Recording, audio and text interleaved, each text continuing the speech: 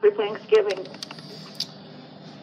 I, I worked partially. Went home, had some nice pie. Of course, uh, we had a nice dinner with Bowden a couple days before that. Very nice. Her son, and uh, he's doing Wow. great. He's he's actually going to buy a home pretty soon. We're hoping. Um, now, I, I, I do you have time for a Howard Hughes story? Hmm. Hello? So, you know Howard Hughes lived in he lived at the Desert Inn for four years, right? He basically he I didn't know the name of it, but yeah, I did yeah he that. lived in the penthouse.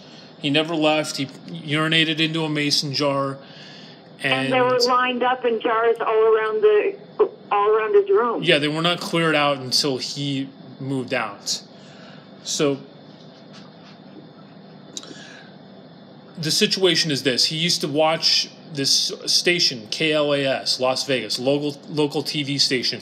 He didn't like the movies that they played. They, he would call the station and he would complain about the movies.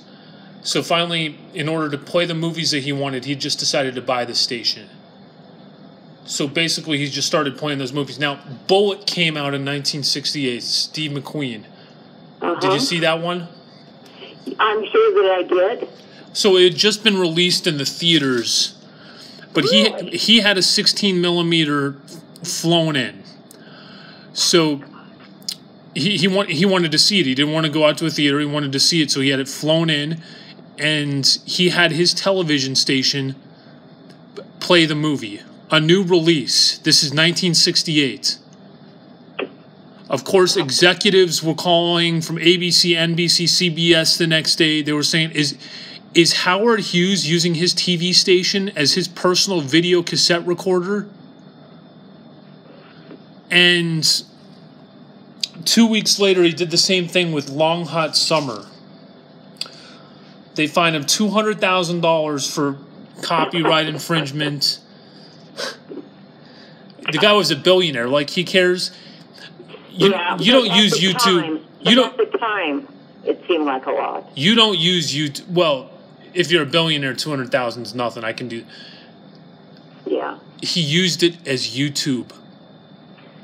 oh, really? That makes sense. Huh. How? Go on. That's it. I think. What are? So the object is the message is There's the. there's no message. It's just a, it's a bizarre story.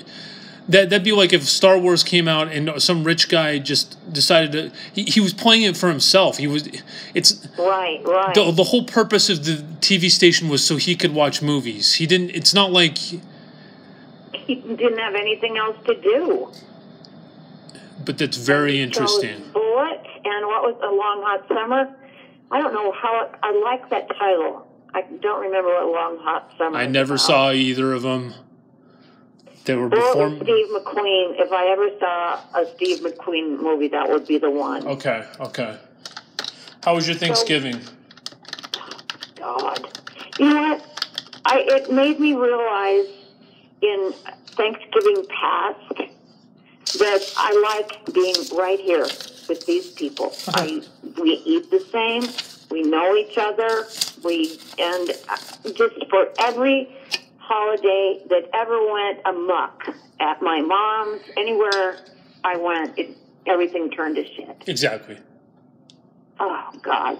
And Paul and Eric and I don't know who else, not John, but they would just hog the chairs, the comfortable chairs, Yeah. eat all the chips and dip, so they're full when they uh, go to Thanksgiving dinner upstairs.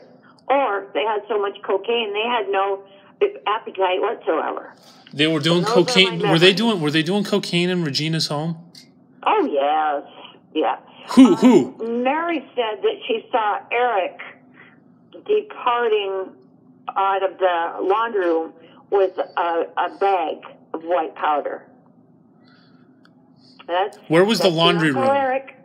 The laundry room. Do you remember? Um, in grandmother's house, you go down the stairs, and then because John's room was in there, you make a left to washer and dryer, and then to the immediate right was John's. Okay, room. so it was near John's. Okay, so And and what what time frame were they doing this? What how old were they? Was this earlier on? Was this when they were Well, younger? Paul Was it blew off? Paul blew off college.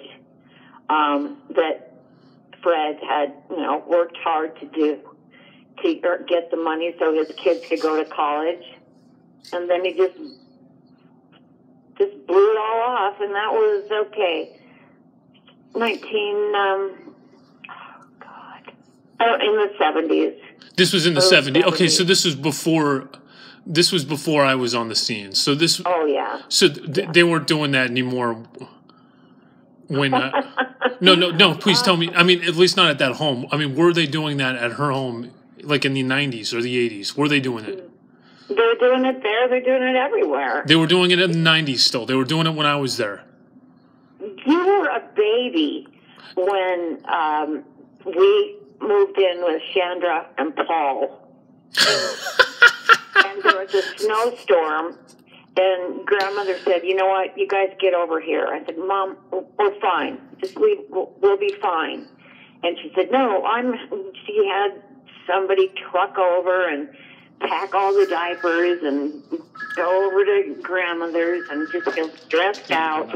And uh, so that's my memories of. not. I'm so sorry. Oh, Chandra got um, salmonella from the turkey. Who did? Paul's wife, Chandra. She got she got salmonella. Yeah, she made the turkey dinner and she got sick. oh, poor Chandra. God. Well, yeah. I have reams and reams of memories. What else do you want to know? But I want to I want to know if they were doing this. I want to know if they were doing this like when I was there. Like You were a baby.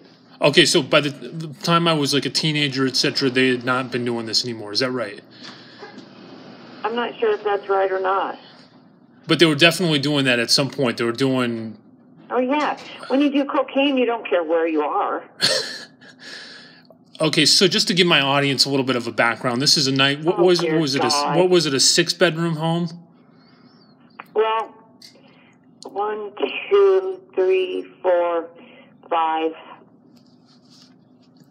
Mine was um, mine was the last one. That's the one I told you. There's a full length mirror when you walk in. Okay, but- okay, I'm trying to- the- hey- a giant spider.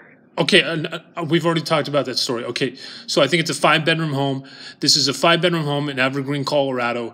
Um, we've got Susie on the line, my mom, and she comes from a big family, uh, seven And I mean seven kids. More, more than just a large number of people. Seven They're all kids, but- but They're the thing is- people.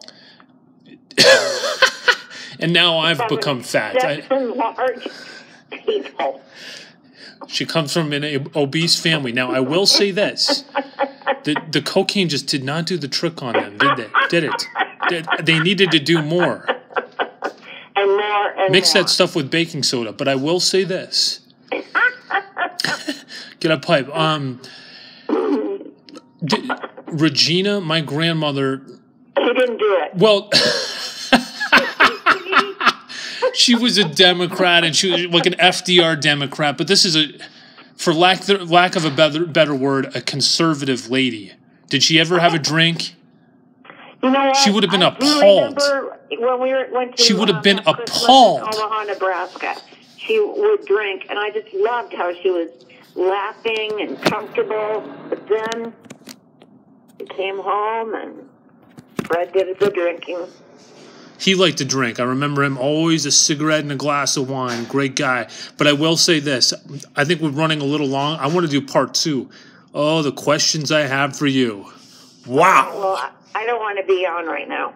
Okay. All right, we'll do that for next time. Pleasure. All right. Um, I love you, Augie. I'll see you later. Love you Bye-bye. too. Bye.